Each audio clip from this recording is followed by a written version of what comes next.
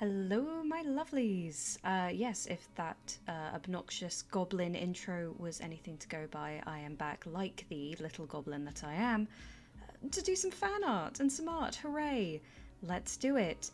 In this case, I am doing some fan art uh, for Monster Garden, just an insanely talented and creative YouTuber. His world building is everything I aspire to be, so hopefully, I am paying uh, you know, worthy homage with this uh, mage design. He has done uh, several videos talking about the lore of uh, his world and mages, and so I was hoping to maybe explore what mages from other parts, unexplored parts of his world, look like. I started with a study of a model one really important thing to do when elongating limbs and body parts and stuff like that is to not just stretch your image out. When I do studies, I always make sure that I keep those feet, hands, faces uh, proportional. Even if you're going stylized, there's certain things that just look weird or warped. What's really cool about the mages in the kind of Monster Garden project is that they uh, that this prolonged use of magic tends to elongate their limbs and make them stand head and shoulders over everyone else. Uh, I really like the idea of these uh, men, women, and everyone in between towering over the general population. One extra detail is that they tend to grow extra features like ribs or fingers.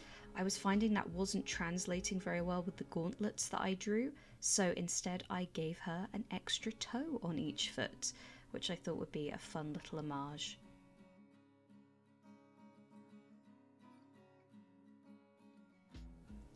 Another key feature with the Monster Garden mages is uh, this use of circles and repetitive patterns.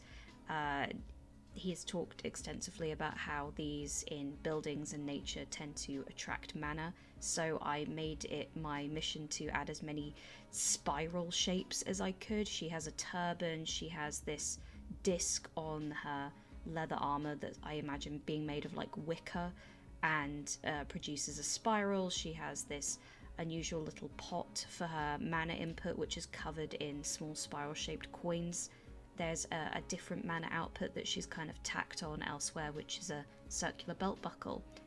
On top of that, her gauntlets are made of concentric circles of repeated plates, which I also thought might add a little something.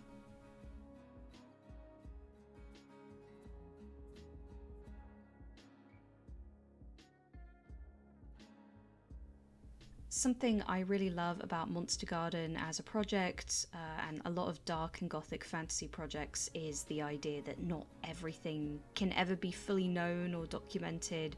Uh, that there's a lot left to be explored, so hopefully I'm doing that here. Something uh, I did experiment a lot with was the mana inputs, putting them in the arm, putting them in the hip, ribs, all of that sort of thing. I was trying to do a mixture of practicality, it's the style over substance balance that can always be really hard to achieve. Uh, at one point, I completely lost my mind over doing the gauntlets. I ended up staring vacantly at uh, haute couture fashion gauntlets just to get the silhouette right, and eventually came up with this kind of layered concertinaed leather on fabric on metal appearance, which I actually quite like now that I'm looking at it.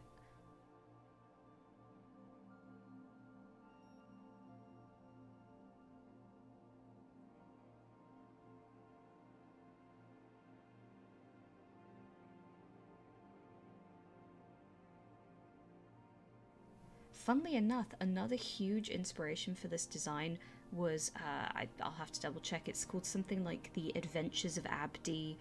uh, or The Legend of Abdi, which was written by Madonna, of all people. And I still have that book somewhere in my house, and there is just something about these otherworldly Salvador Dali esque illustrations in a Middle Eastern inspired setting that really started getting all those little character design parts of my brain fired up. I was trying to bring that gothic style and create something that would realistically exist in this, you know, Monster Garden world uh, without, you know, just retreading the same ground. I think something about fan art is you can kind of offer your own thoughts and your own appreciation for a very talented artist.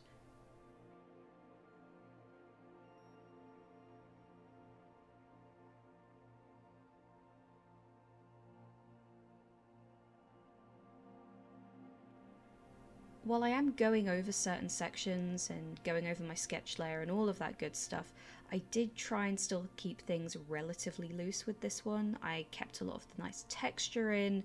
I was using my references as a guide rather than feeling I had to stick to them very strictly, and I just tried to find what worked.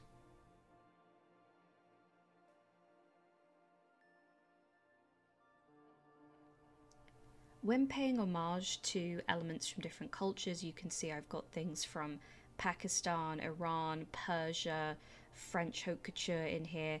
It's really important to just do your research and make sure you're not borrowing too much from, say, something that is incredibly important or holy. There's no escaping it to a certain extent, but I didn't want this to be one big uncomfortable experience for any one group. I think some of the best uh, designs out there are where you draw inspiration but don't outright copy any one thing, and hopefully that has come across here.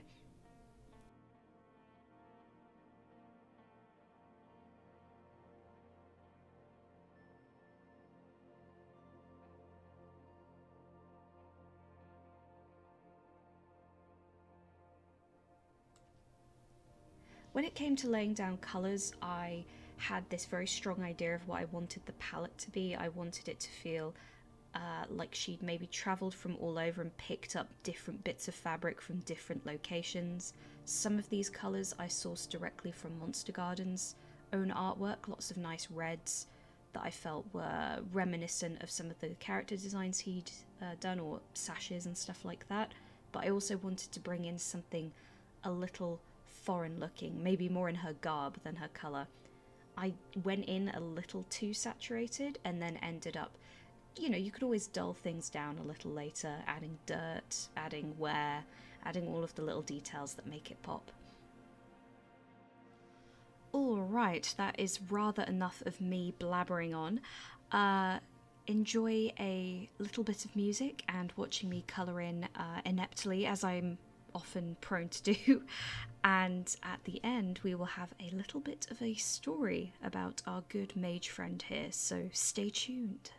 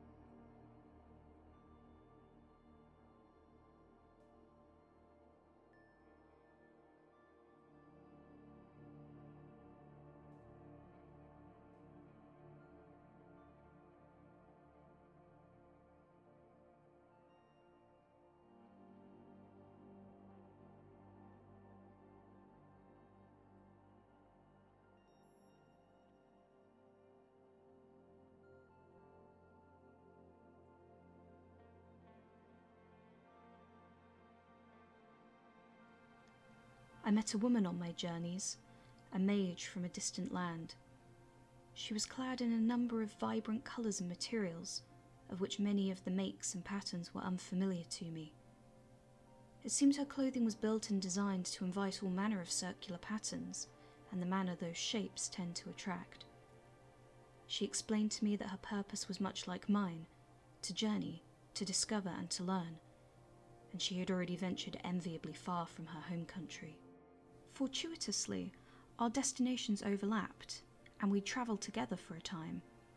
The many circular coins that adorned her mana input jingled musically, giving her long step an air befitting a dancer.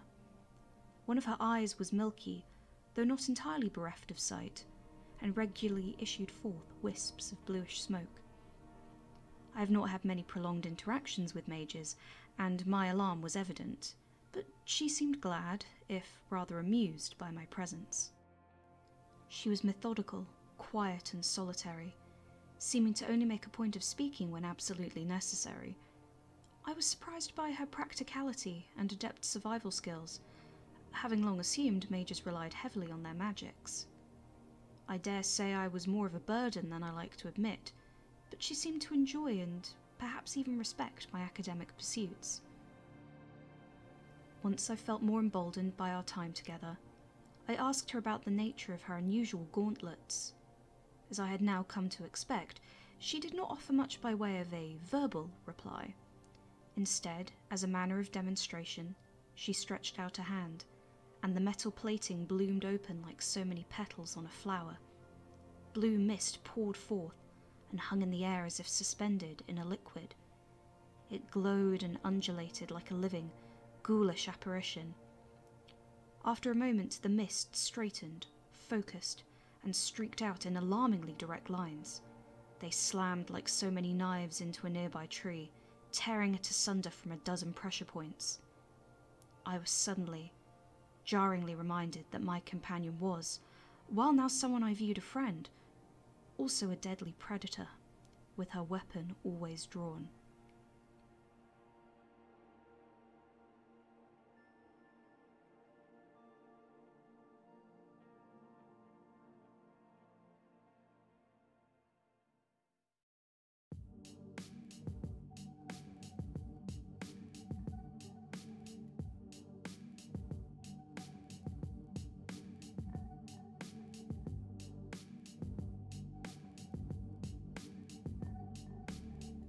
And there she is. Uh, honestly, this one was such a fun one to do. Uh, it took so much longer to edit than I intended just because life got in the way, as it often does. Um, but hopefully, you enjoyed watching this. Hopefully, it has inspired you to check out uh, Monster Garden if you haven't already. And at the very least, hopefully, it's inspired you to make some really cool looking gothic tool mages because we all need one of those in our life. Uh, if you enjoyed this, or you have thoughts or ideas, or even a bit of critique, um, please do leave a comment if you have the time. And speaking of time, I will hopefully see you next time.